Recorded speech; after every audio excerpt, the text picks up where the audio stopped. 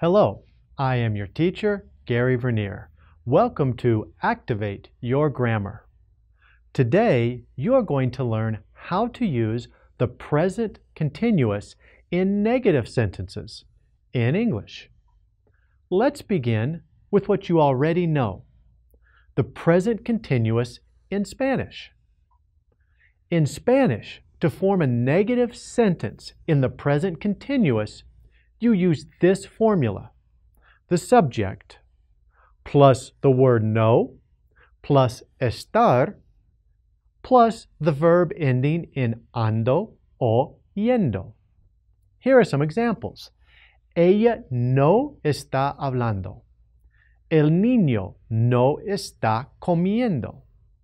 Nosotros no estamos estudiando. In English, it is just as easy to form a sentence in the present continuous tense. You follow the same formula as you do in Spanish with two differences. The first difference is the word no in Spanish is not in English. The second difference is the word not goes after the helping verb to be, not before it like in Spanish. Here is the formula in English. Subject plus be plus not plus the verb ending in ing. Here are some examples. Spanish. Ella no está hablando. English. She is not speaking. Spanish. Ellos no están estudiando. English. They are not studying. The video will now stop and you will have an activity to identify verbs in the present continuous tense in negative sentences. Okay, there are two very important rules you must remember when speaking in the present continuous in negative sentences. Rule number one, if the subject is he, she, or it, the verb be changes to is not. If the subject is they, we, you, the verb be changes to are not. If the subject is I, the verb be changes to am not. So just like in Spanish, the verb be changes depending on the subject. Here are some examples. Spanish. El tigre no está corriendo.